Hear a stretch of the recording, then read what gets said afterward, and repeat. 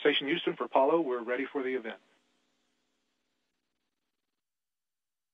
Houston Station, ready.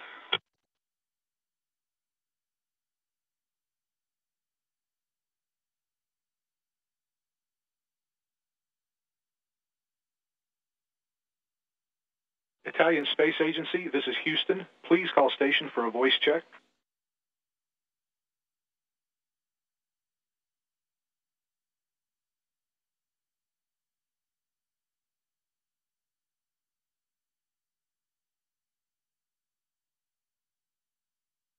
Italia Space Agency, this is uh, station, uh, really loud and clear. Buongiorno.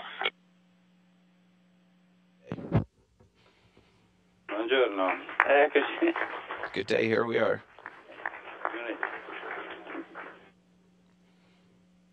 Ciao Paolo Simona, come va? Hi, Paolo, this is Simona. How are you? Giorni? Are you working hard these days? Buongiorno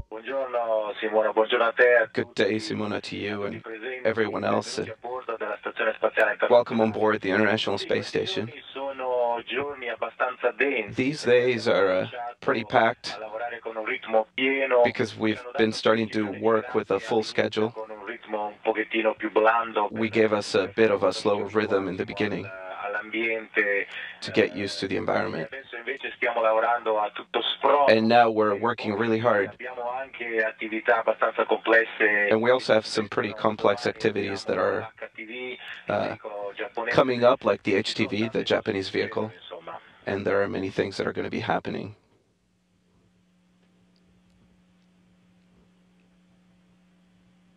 Siamo qua col presidente Saggese And we're here with uh, President Saggese, nel laboratorio Columbus. and we can see you in the Columbus lab. Un po' di quello che sta succedendo di come Can you tell us realizzando in questi what's going on there and what are you working on these days?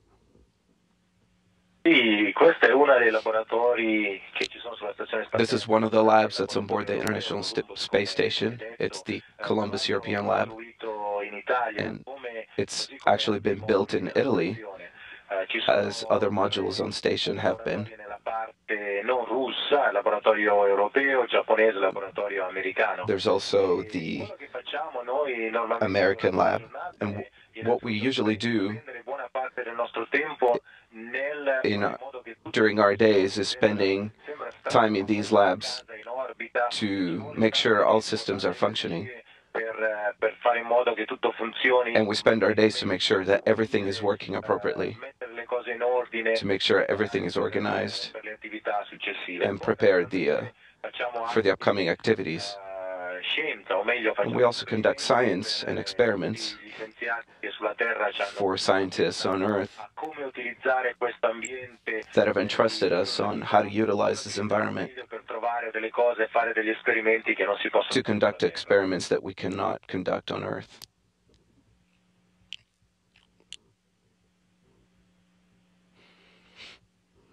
Domani arriva l'HTV e poi eh, T- tomorrow the HTV is coming, febbraio il nostro and at the end of February, Kepler. Eh, come stanno andando i preparativi per questi due attracchi? the Kepler mission. So, how are the uh, preparations going for these two docking activities? questi, questi veicoli sono estremamente importanti Very well. These vehicles are very important. questi veicoli non possiamo eh, continuare il nostro Without these vehicles, we cannot continue our work, both on a Quindi experimental standpoint, but also to continue our work in general. arrivino le cose che ci So it's very important that these vehicles arrive and bring us things that we need. e, e hanno. So the ATV and the HTV are very important. And Katie, my American colleague, nel agganciare il veicolo giapponese will be responsible for a differenza dell'ATV, che grappling the uh, Japanese vehicle, which differently from il ruolo di monitoraggio the ATV, which docks on itself, possiamo in caso di emergenza mandarlo via.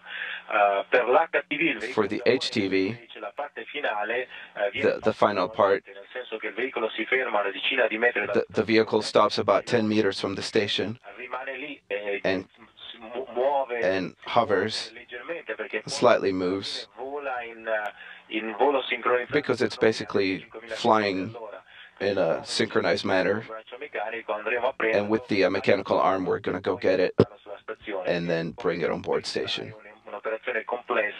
which is a complex operation. Abbiamo finito l'addestramento And we completed the uh, training at Houston, in Houston, stazione siamo decisamente pronti. and we're definitely ready.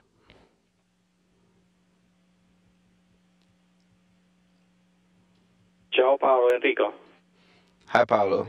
Enrico. innanzitutto informare che sei collegato oltre che qui con l'ASI con Altec. I wanted to let you know that aside from ASI, you're also connected to Altec. Domande, fortunatamente per te, ma eh, ti sentono.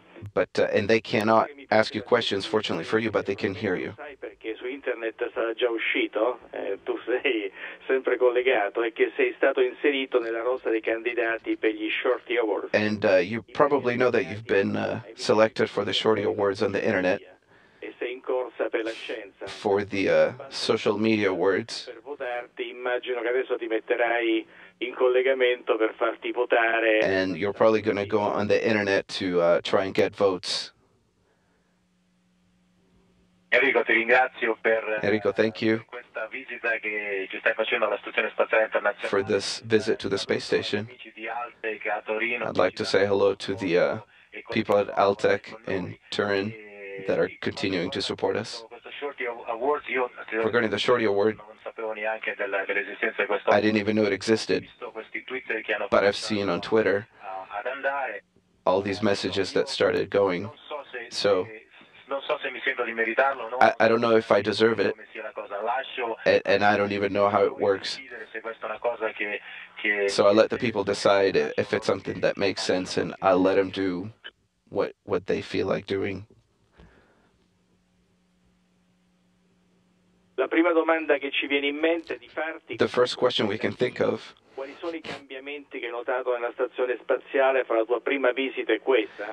is what are the changes that you've noticed from your first visit to the space station and now, and if you think it was better now or then. So last time I came it was only three years ago, but the station has changed with the arrival of the uh, Node 2, which is the node we brought on board. We increased the volume, and we've also been able to add the Columbus module, the Japanese module, Node 3, quasi tutti di questi elementi costruiti in Italia. and almost all these elements built in Italy, the cupola. La stazione è veramente diventata So the station più un laboratorio has truly become an excellent lab with- a disposizione with all this instrumentation that scientists can make use of. Eh, ma anche per noi come astronauti But also for us, diventata un luogo dove as astronauts, the station has become a place where we can work and live senza il nodo 2, senza il nodo 3, si with more comforts. You know, without Node 2 and 3, we sort of camped around with uh, sleeping bags, whereas now we have a place that we can call our little room that we can go in there and we have our things. And lastly, we have the cupola, which is a beautiful spot for looking at the Earth. And it's a place that usually I uh, take pictures that I put on the internet. And it's beautiful, and it's of course useful. For example, we use the cupola for the uh, docking of the uh, Japanese module.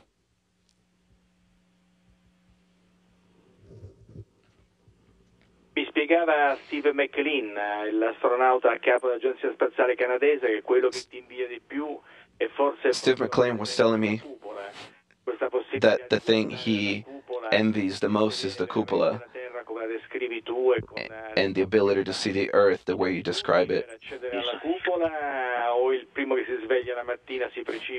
Do you do you take turns accessing the cupola, or is it whoever wakes up in the morning first? Well, the cupola has been made in Italy, so when we make things, we build them well. It has many windows to comfortably accommodate three astronauts. So you, we're usually by ourselves or in Devo dire che couples.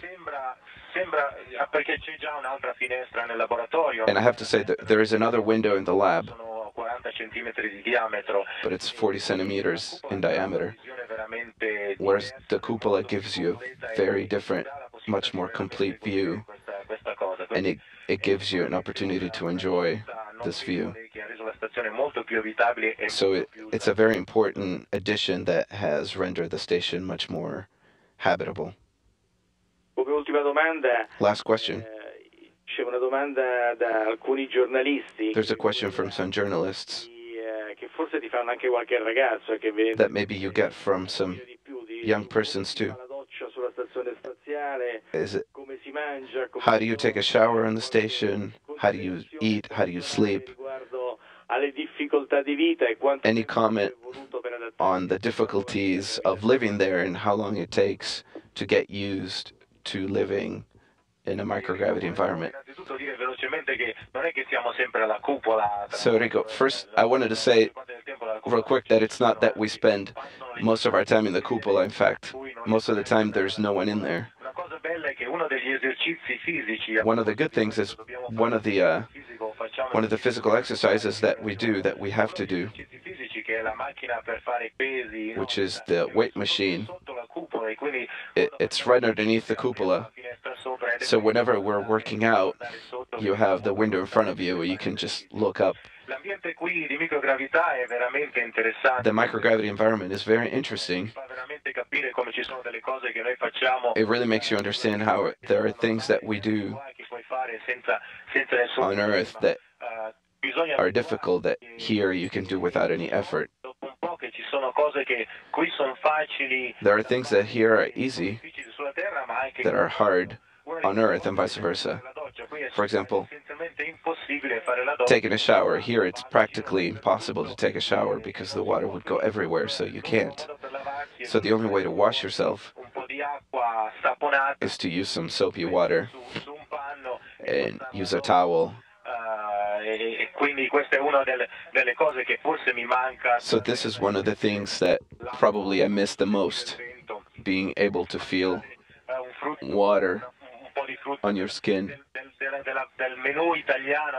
Eating some fruit from the Italian cuisine that I miss rather than uh, prepackaged meals. ed è sicuramente importante eh, il, il fatto di essere qua per lungo tempo But it is very important to be here for an extended amount of time. tutto pieno e, e- e ci si abitua. So so we get used to it.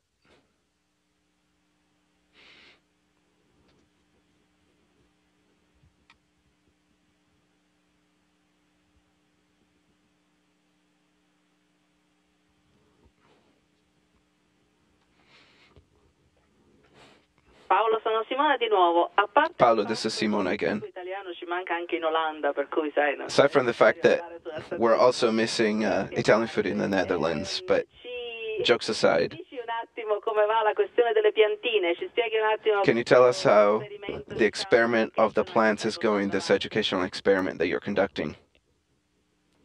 Sì, questo è un Yes. esperimento educational pensato This is an educational experiment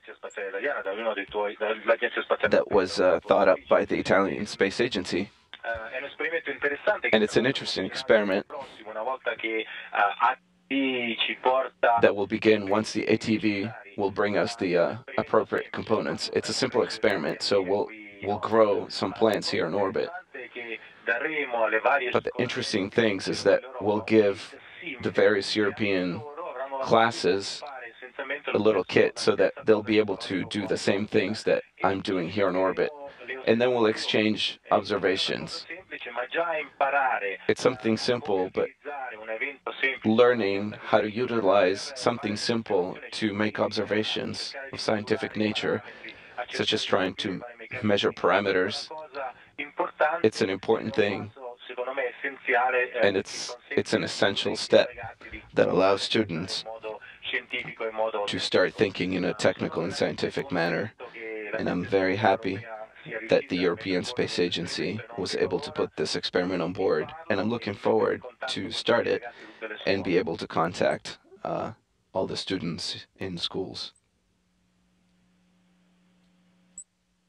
Massimo, un attimo, un giornalista che ha una domanda speciale. Just a second, I have a journalist that has a special question for you. Sono Andrea Parlangeli del mensile Focus. Good day, I'm Parlangeli from the uh, Focus magazine.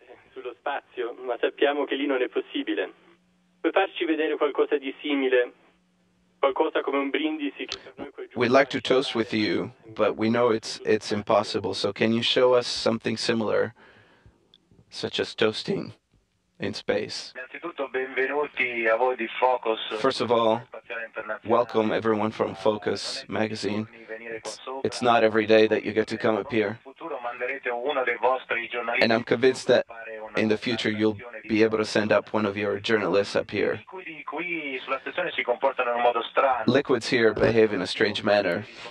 We don't have glasses. delle bustine con una cannuccia, tra l'altro. We basically have everything in little bags with a uh, straw and a little valve that we use so that everything doesn't just come out. One of the co- the American colleagues has decided to design a special cup. These are applications that are studied, for example, in space vehicle tanks. We use a similar approach. So one thing that's hard doing on Earth that's easy to do on space and vice versa is drinking something. con voi a questi 18 anni di Focus senza So to toast to you with for the 18th year of Focus magazine, Eh, facendo galleggiare il liquido direttamente nell'aria e berlo così senza bicchiere. Attenzione, non so- provate a farlo. So I will show you a toast where I'm going to let the liquid float and drink it without a cup. So don't try this at home.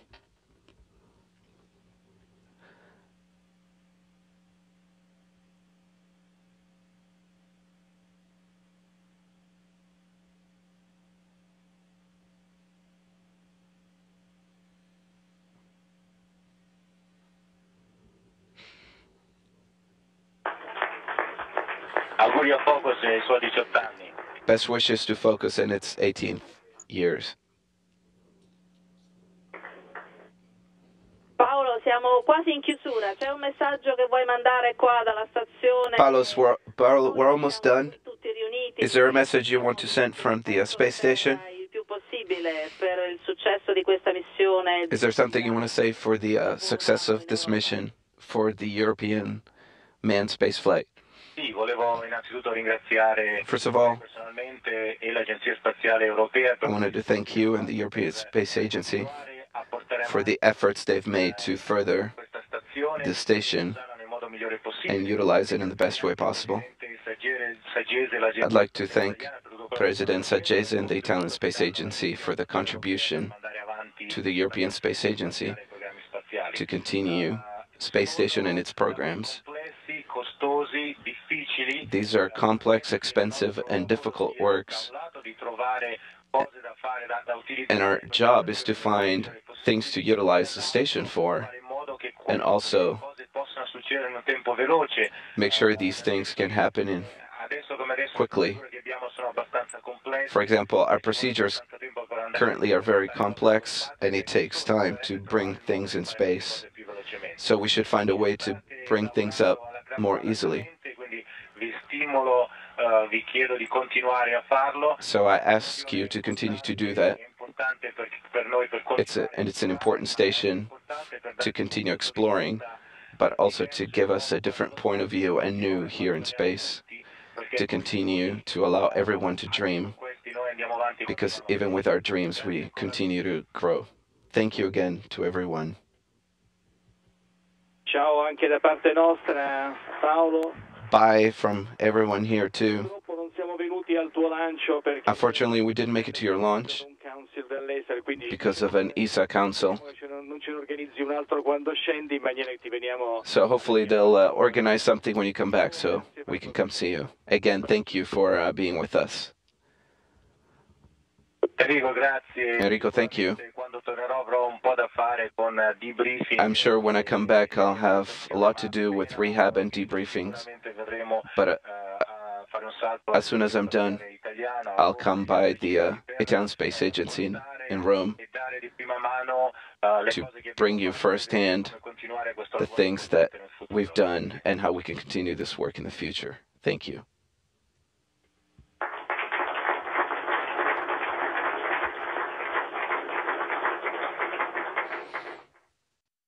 Station, this is Houston ACR. That concludes the event. Thank you. Thank you, Italian Space Agency. Yeah, thank you. I appreciate it. Thank you, Italian Space Agency. Station, we are now resuming operational audio communications.